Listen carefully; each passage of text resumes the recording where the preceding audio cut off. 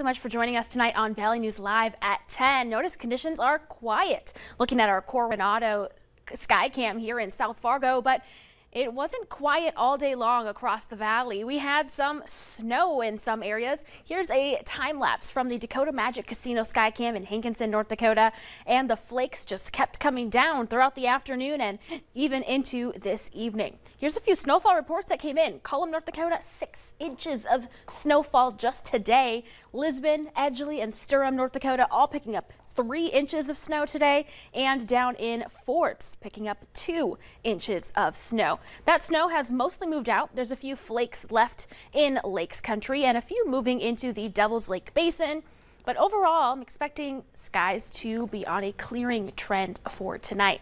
Here's a look at your current temperatures across the valley. We're at 29 in Fargo, one of the cooler spots. We're at 28 in Wadena, 27 down in the Sisseton Hills. Meanwhile, it's still 36 degrees up in Roseau at this hour, 30 in Grand Forks, Valley City, Langdon, and Gwinner, 30 in Jamestown as well. Through the rest of tonight, those clouds will continue to make their exit a few lingering in the Devil's Lake Basin, bringing a few flurries, but overall conditions are going to be quiet for the most of the valley. By tomorrow morning, temperatures will primarily be in the 20s and some low 30s.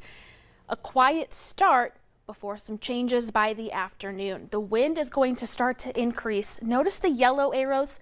That's indicative of wind gusts over 20 to 30, 35 miles per hour.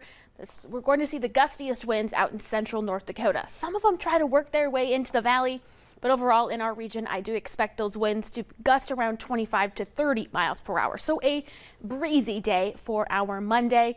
Temperatures warming up into the 40s to near 50. And then here come those changes. We could potentially start to see some raindrops as early as Monday night ahead of our next system. But let's focus on temperatures first. A snapshot of your afternoon hometown forecast. Right around 4 o'clock tomorrow, 46 in Bemidji and Wadena, 48 in Fergus Falls, 50 Grand Forks, Fargo, Langdon, Devil's Lake, 51 in Jamestown. All right, let's get to that first alert weather day for Wednesday for wintry weather and windy conditions.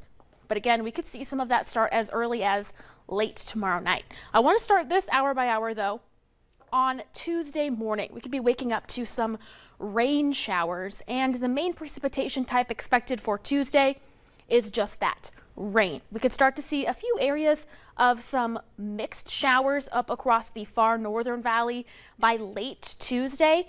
And then we see a little bit of a break. This is for the overnight hours of Tuesday and into Wednesday morning.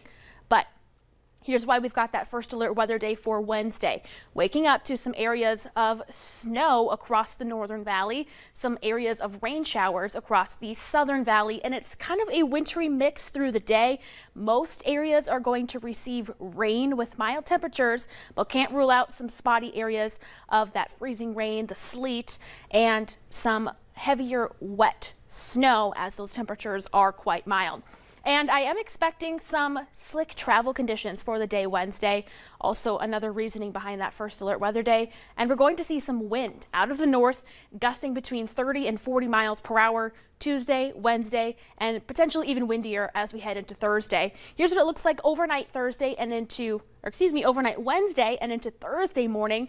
Additional areas of snow, light snow for your morning commute Thursday before it exits through the day and that wind stays with us behind it. Very unsettled for the middle of the week as we're heading into this first week of April, first full week of April, I should say. Tomorrow, mild with increasing wind, especially late. Tuesday, temperatures still mild, hence primarily rain. Then Wednesday, we have that wintry mix. Wind continues. Windy again Thursday. Temperatures only near 40 degrees here in Fargo. Much more mild as we head into Friday and even into the weekend. We've got some mid 50s to some 60s. Yeah. Can't rule out a few light showers, but nothing like we're going to see the next few days. All right. Well, thank you so much, Summer.